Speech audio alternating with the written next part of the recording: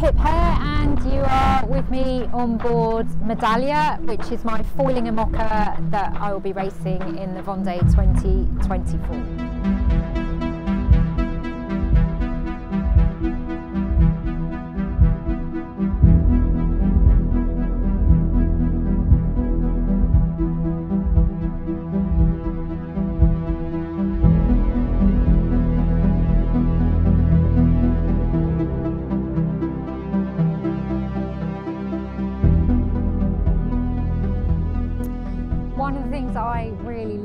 About this boat is this incredible foredeck area. Um, it just makes sail handling a lot easier for me. Um, it's a, a, huge flat surface. We've got really nice toe rails across the centre of it and also um, on the side deck. Um, my J3 can come up and down, um, but I leave it up most of the time. The J2 here, this is my structural stay, so this one's always up. And then all of my other sails I uh, set forward of the J2. Um, I've got uh, a J1.5 which flies from the stem, set, stem, stem head.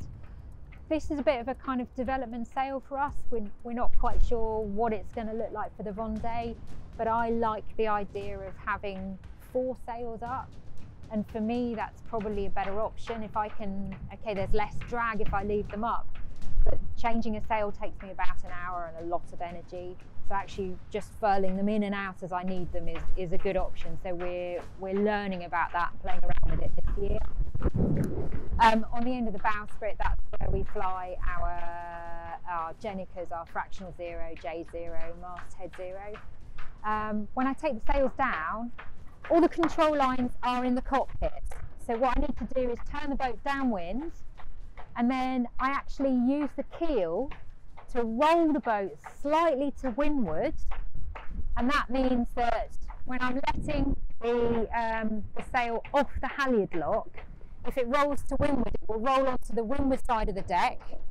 I kind of ease a little bit so it falls into the J2 and then I'll put the boat upright again and it all kind of collects down on the side deck and that way I can make sure because obviously I'm 40 50 foot away back there as I'm using the halyard that way I make sure it all lands on the deck and it doesn't land in the water.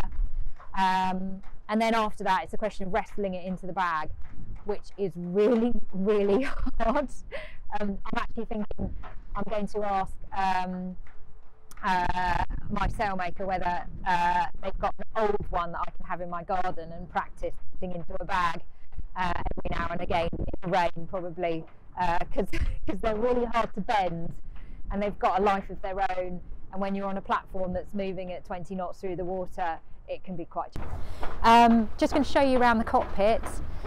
Big thing about the cockpit is that it is completely enclosed. So when I've got huge amounts of water coming over the deck. I can just pull this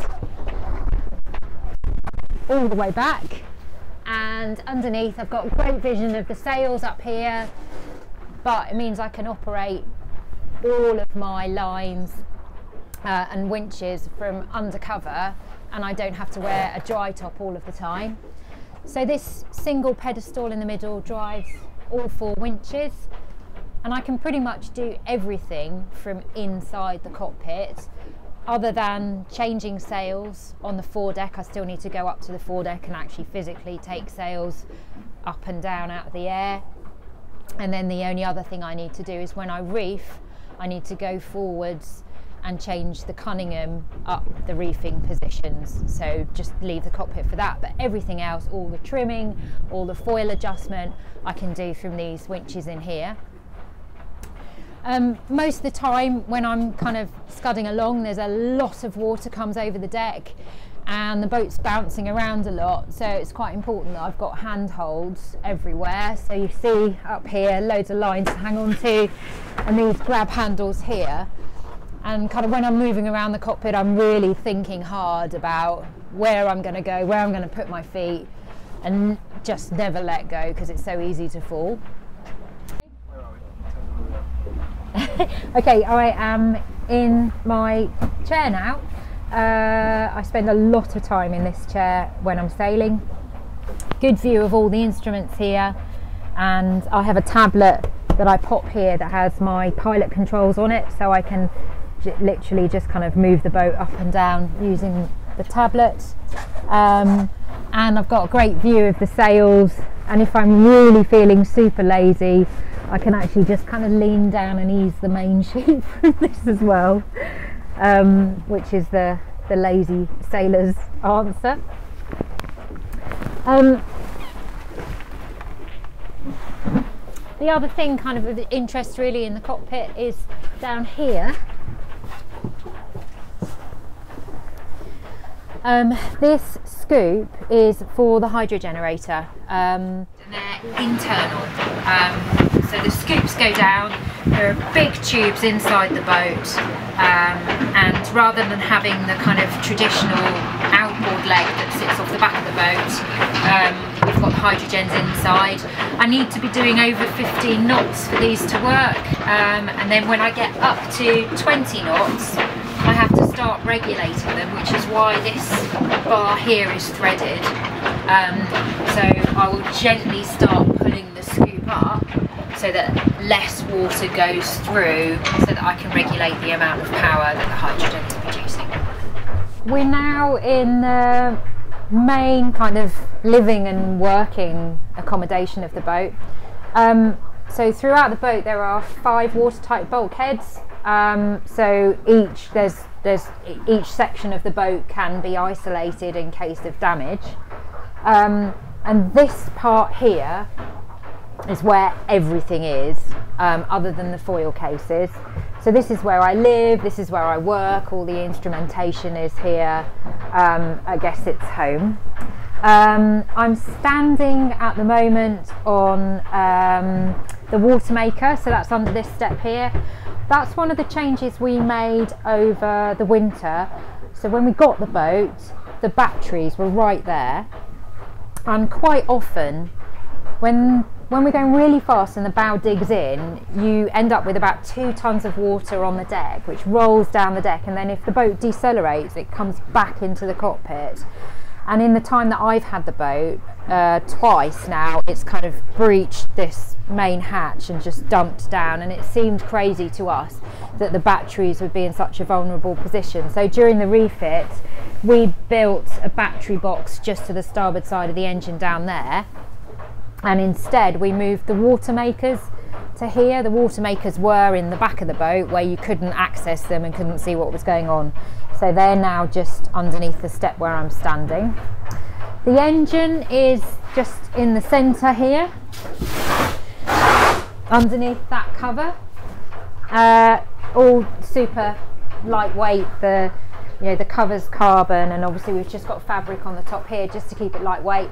Does make it very noisy, um, but I can live with that. Um, these two tunnels, all of the lines come down the mast through the cathedral here and then go out through the tunnels so that I've got access in the cockpit. And behind here is the keel head. So down, there is like a hole in the bottom of the boat. The keel head comes up and then my hydraulic ram is on this side here which cants the keel from side to side and then on the opposite side I have a safety ram which would allow me to lock the keel into the middle should the hydraulics fail. Um, moving over this way. Uh, water ballast. I've got uh, two tons of water ballast under this area here and that fills through a scoop on one side or the other and then it can change size in this transfer valve here. Um, I've also got aft water ballast but that gets filled up on deck and it's all completely external. That's just under a ton. Um, I use this one when I'm tight reaching or going upwind. And here we have the nav station. The nav station uh, swings from side to side. Um, so I can always be navigating from the high side of the boat. Uh, and on here I've got battery monitor, um, keel, controls. Um, this is my sleep timer, which is just like an egg timer on a very loud alarm. Um, my PC, I run my navigation software, so I'm running both Adrena and Expedition. I have my um, pilot overlays on there, so I have a PC-based program that drives my autopilot, uh, and then all of my com stuff comes through the PC.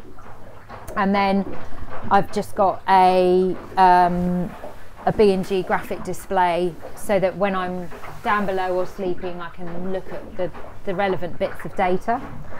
Um, I sit at a beanbag, um, on a beanbag, I kind of mould a beanbag into the right shape to work on this. And when I'm sleeping, I normally put the beanbag in this area here and I'll just kind of sleep, effectively just sleep on the floor like that.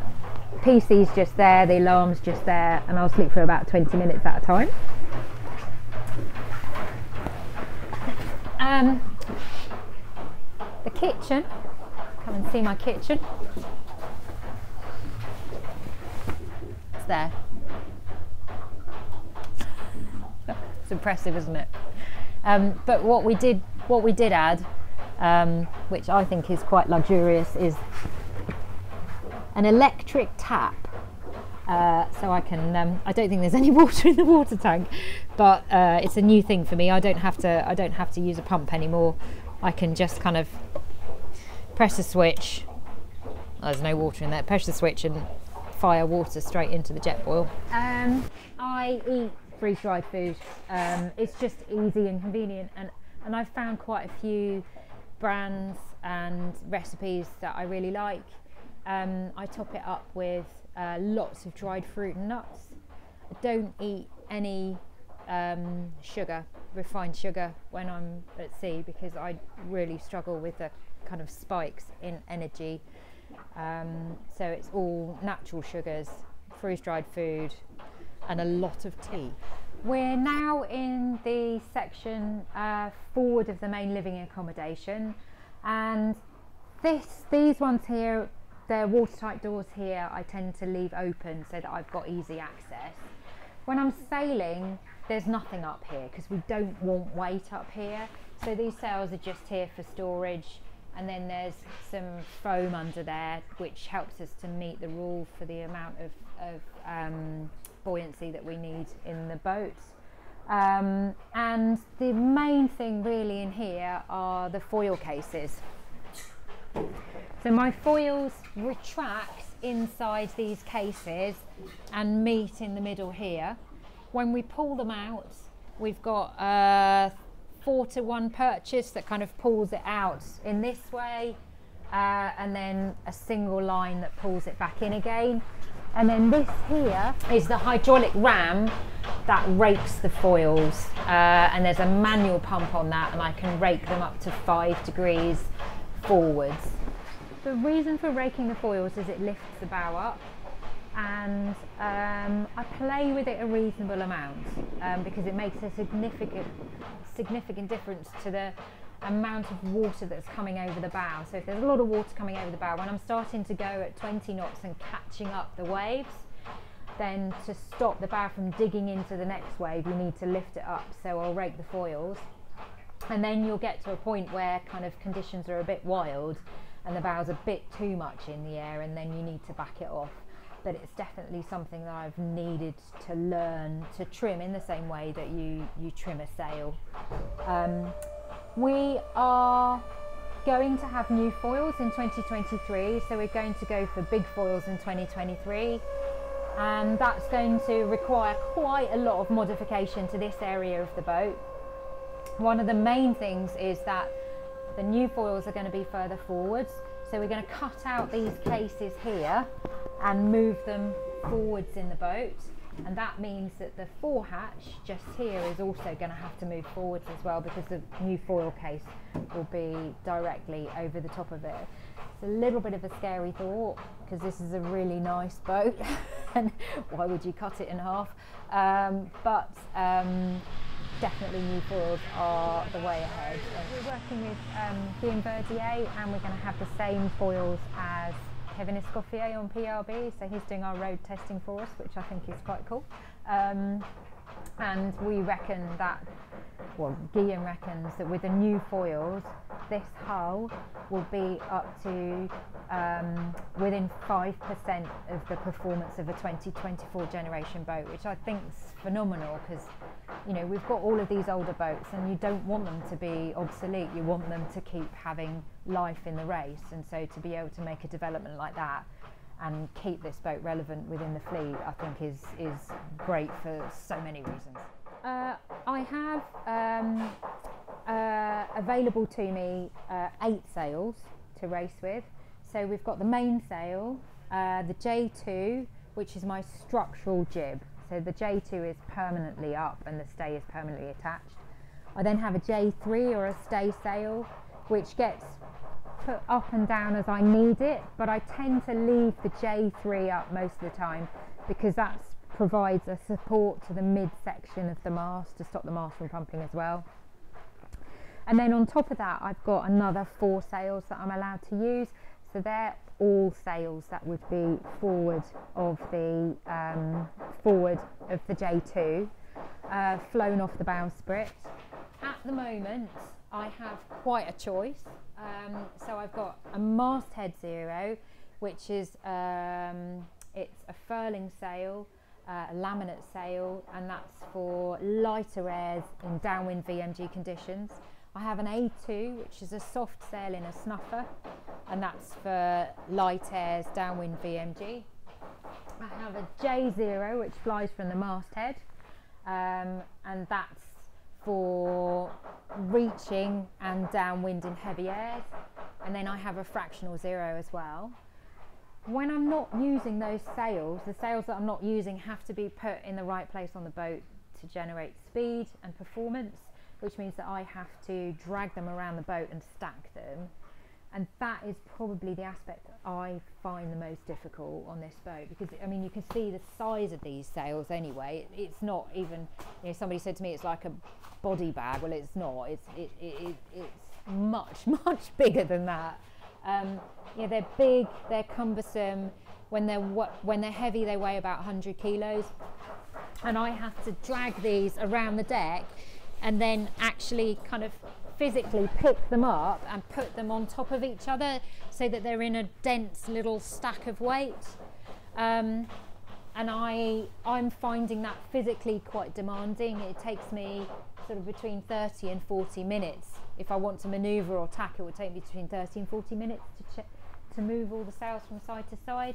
So um, one of the things we're looking at as a team is how we can modify the boat to make it easier for me to move these sails around um, and get them in the right place without exhausting myself. And in the last race, I tacked early for the front that came across. Um, and actually, if you looked at all of the routing, if you took the human being out of it, then yes, you, you, you, you, you should have gone a lot further south than I did, or about 20 miles further south than I did, and then tacked at the most aggressive point that the front changed. You know, you get the, the wind going from this to this. And I didn't. I tacked early, and the reason I tacked early was because when you tack on a front like that, um, you've got a cross sea, so you have no time. The, the, the breeze just changes like that and then all of a sudden you're stacking uphill, not downhill, and you've got a cross sea state as well, which makes it even harder.